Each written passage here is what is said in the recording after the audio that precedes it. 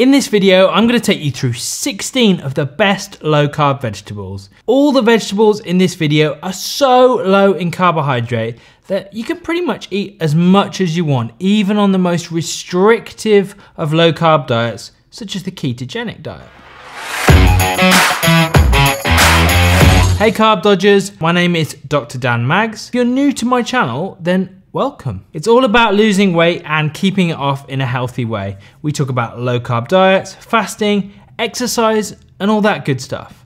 If that sounds like something you'd be into, then I'd love it if you'd subscribe to my channel, which you can do by clicking the subscribe button. And if you click that little bell next to it, YouTube will notify you whenever I release a new video every Tuesday. Now, all the vegetables in this video contain less than 5 grams of net carbs per 100 grams of food. And net carbs are the digestible bit that our bodies actually can use for energy. It's a really low amount of carbs, which means you'll more than likely be full before you start to overeat these foods. And as you've probably noticed, I'm British.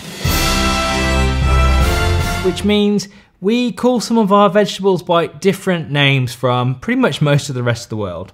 I'll try and use the common international names for these things, but hopefully it should be obvious from the pictures what I'm talking about. Which brings me neatly on to number one. We call them courgettes, you might call them zucchini. This member of the squash family is particularly low in carbohydrates and is really versatile. Compare it to other members of the squash family, such as pumpkins, which have 6.5 grams of net carbs, and butternut squash, which has 10, whereas courgettes have just 2.1 net carbs per 100 grams. You can roast them, fry them, grill them, but they're perhaps most famous in the low carb world as an alternative to pasta. You can use a spiralizer to turn courgettes into spaghetti, which we call courgetti, but I guess if you call courgette zucchini, I guess zoodles works just as well. You can try this courgetti bolognese recipe, or if you're feeling a bit more adventurous, then use them as a noodle substitute in this ramen noodle recipe. Number two is aubergines or eggplants. Now these can be cooked in a variety of ways. I love them because they suck up the flavour from everything around them.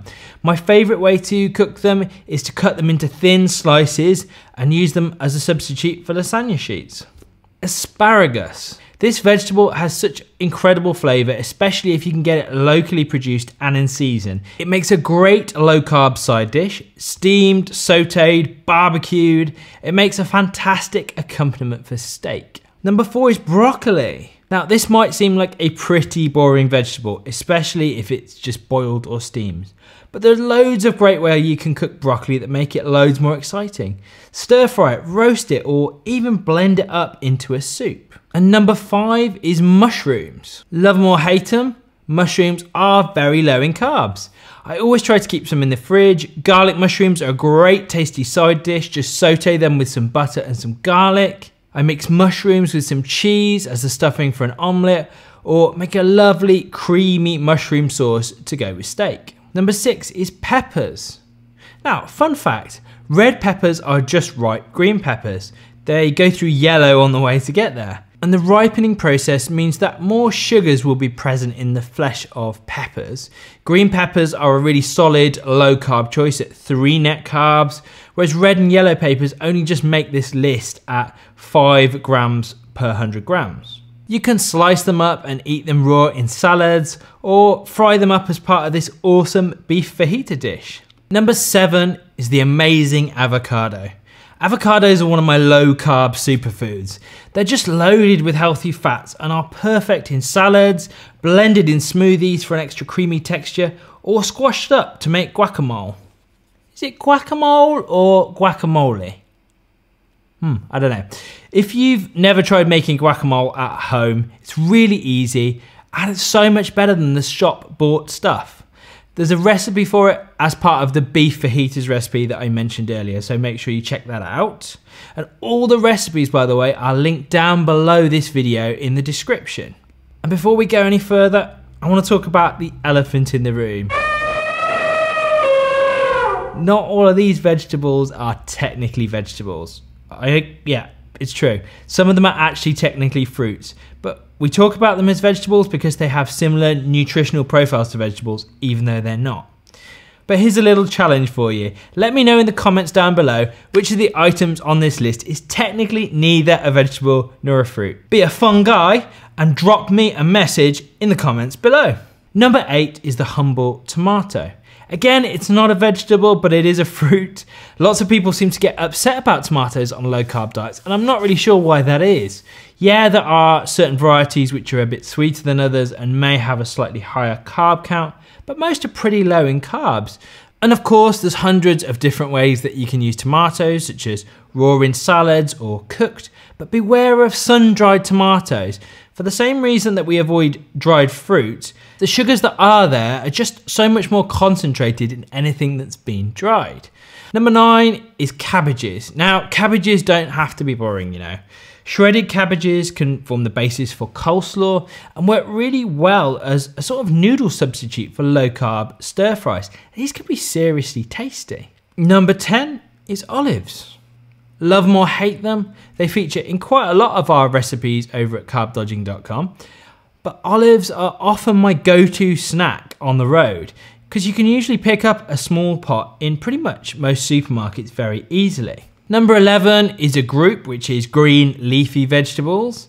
And by green leafy vegetables, I mean things like spinach, spring greens, kale, those kind of things. I'm not going to go into detail in this one because they're not exactly the most inspiring out of all of these vegetables, but they are super low in carbs and full of important nutrients.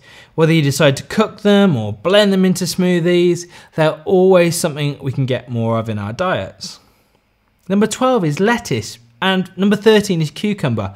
And I'm going to talk about these two together again because they're not overly exciting on their own, but they form the basis of amazing salads which you can eat to your heart's content on a low carb diet.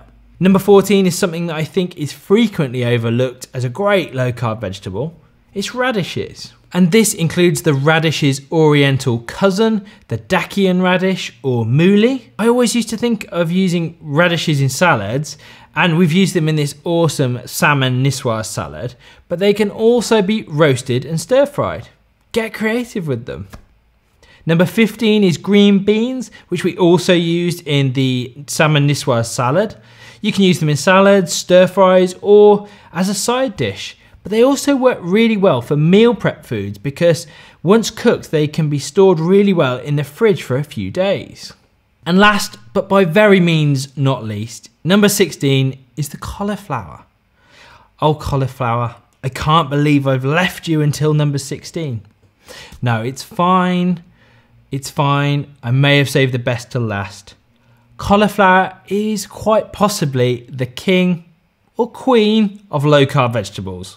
It can be mashed as a potato substitute. Blend it with parmesan and use it to top off this amazing shepherd's pie. Grate it, pulse it up in a blender, chop it up finely and use it as a low carb rice substitute.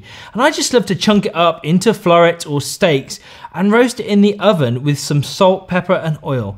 It's such a quick, easy and tasty side dish. You can even make cauliflower into a pizza base. And if cauliflower can be a pizza base, then my friends, anything is possible.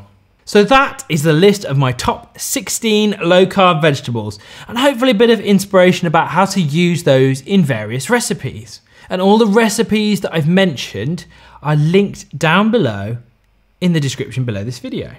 Now, knowing which foods are lower carb options and which are higher carb options is half the battle when you're starting out on a low carb diet. So I've put together this downloadable cheat booklet which tells you the low carb contents of most of the common foods you'll find in the supermarkets. There's a traffic light system to show you which foods are all good, which you need to be careful with the quantity, and which you should avoid altogether in order to be successful on a low carb diet. You can download it, keep it on your computer or on your phone, or even print it out. And the link for that again is in the description below this video. That's it for today. I hope that's been helpful. I release new videos like this every Tuesday, so be sure to subscribe to my channel and click that bell to get notified. Remember to comment down below if you manage to spot which of these vegetables isn't actually a vegetable or a fruit at all. Or just hit the like button if you found this video useful. Have a great week, and I'll see you next Tuesday.